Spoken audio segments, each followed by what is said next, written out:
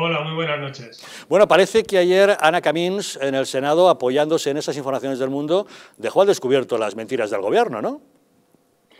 Sí, la verdad es que Ana Camins explicó ayer perfectamente en el Senado cuál es la situación en la que se encuentra la Comunidad de Madrid respecto al gobierno de España, pero hay algunas cosas más que es necesario que se sepan, no solamente como referías antes los hasta 12, porque fueron los 12 avisos que el Departamento de Seguridad Nacional, que hay que recordar que depende de Iván Redondo, del gabinete del presidente, hasta 12 avisos se hizo al presidente, a los vicepresidentes y a 11 ministros de la pandemia que se nos venía encima, sino que además la Organización Mundial para la Salud dio una alerta mundial. ¿Qué ocurre cuando da una alerta mundial la Organización Mundial de la Salud? Pues según nuestra propia ley de salud pública de 2011, el Ministerio de Sanidad tiene que tomar el mando único para paliar, para hacer frente a esa alerta mundial. Y no lo hicieron. Es más, a partir del 2 de marzo, el Ministerio de Sanidad, el de Salvador Illa, prohibió a las comunidades autónomas comprar material sanitario, en concreto las mascarillas. Esas mismas mascarillas que Fernando Simón dijo de forma descarada en rueda de prensa que no hacían falta. Y luego resulta que dijo que no hacían falta porque no las tenían. Lo prohibieron el 2 de marzo y el 12 de marzo, de marzo lo intentaron ellos. ¿Y qué ocurrió el, 18 de marzo? Pues que les engañaron, hicieron una compra de mascarillas fake y de test fake. Con lo cual, una semana después, el 25 de marzo, ya permitieron a las comunidades autónomas, entre ellas a la Comunidad de Madrid, que hiciera compras. Perdimos mucho tiempo en enero, en febrero, en marzo y luego para proveernos de material sanitario ese mismo mes de marzo. ¿Quién es culpable de todo eso? El gobierno Sánchez, el Ministerio de Sanidad y Fernando Simón. No cabe la menor duda. ¿Y a qué obedece, Jorge, que el gobierno de Sánchez le haya declarado esa guerra tan agresiva y violenta a la Comunidad de Madrid? Bueno, es evidente que por dos cosas. Una, porque Madrid se había convertido en el motor económico de España, había conseguido superar a Cataluña en el PIB regional y eso teniendo un modelo económico distinto y estando gobernada por el Partido Popular desde hace 25 años, era, y es intolerable para el PSOE y para los socialistas, para la izquierda. ¿Cómo es posible que una comunidad gobernada por el Partido Popular se convierta con un modelo liberal en el motor económico de España? Había que deteriorar la estructura económica madrileña todo lo que se pudiera. Si con ello había que tomar medidas políticas en salud pública, pues se hacía. Pero no solo eso, sino que querían entrar en el gobierno de la Comunidad de Madrid por la puerta de atrás. ¿Cómo? Forzando una moción de censura que echara a Isabel Díaz Ayuso de la presidencia e hiciera, reuniera un gobierno de izquierdas. No han conseguido ni una cosa ni otra. ¿Por qué? Porque Madrid sigue siendo, y lo va a seguir siendo, el motor económico de Madrid y porque esa moción de censura, al menos de momento, se ha parado. Pero es que esa animadversión del Gobierno ha pasado incluso por encima de las necesidades realmente sanitarias, con un Ministerio de Sanidad imponiendo una serie de medidas cuando las que había aplicado la comunidad estaban ya empezando a dar sus frutos.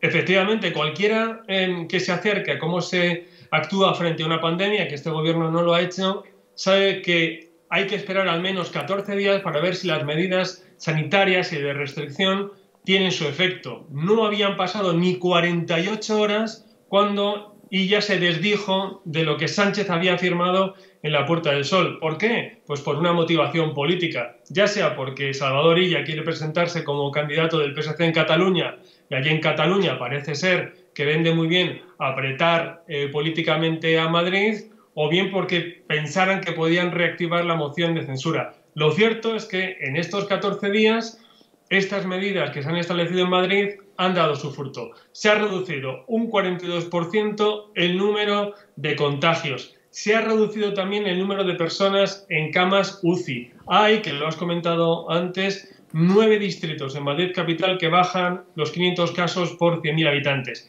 y cuatro ciudades de, de, la comunidad tan importantes como Alcalá de Henares, como Alcorcón, como Móstoles y Torrejón, que están en esa misma circunstancia, 500 por debajo 500 casos por 100.000 habitantes. Las medidas están funcionando hasta el punto de que Salvador Illa ha tenido que reconocerlo, lo cual está desesperando a la izquierda porque les ha dejado sin discurso. Hay otro asunto, Jorge, sobre el que me gustaría conocer tu parecer. El Gobierno está ya reconociendo el nefasto panorama económico que está dejando en este país. Caída del PIB este año un 11,3%, aunque los expertos creen que será más. Recuperación el año que viene al 7,7%, que es una previsión quizá demasiado benévola. El paro desbocado al 17% y eso sin contar los ERTES que se puedan convertir en ERES. Deuda pública al 118% y techo de gasto al 54%.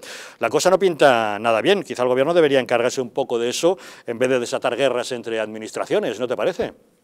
Sí, evidentemente hace falta no solamente una coordinación sanitaria, sino una coordinación económica. Debería haber un gran pacto económico que no, que no paralice la economía.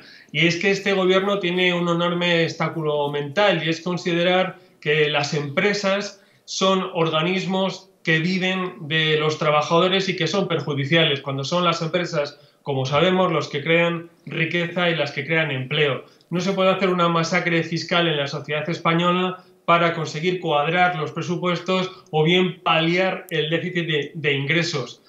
Hay que hacer como están eh, realizando los grandes países de Occidente, que es bajando los impuestos. Italia lo está haciendo, Holanda lo está haciendo, otros países europeos, Alemania, lo están haciendo para salir adelante. ¿Por qué? Porque hay que activar la economía, dar posibilidades a las empresas, a los autónomos, que se cree empleo y favorecer el consumo. Es una barbaridad que se castigue el consumo, cuando el consumo precisamente es el motor básico de la economía.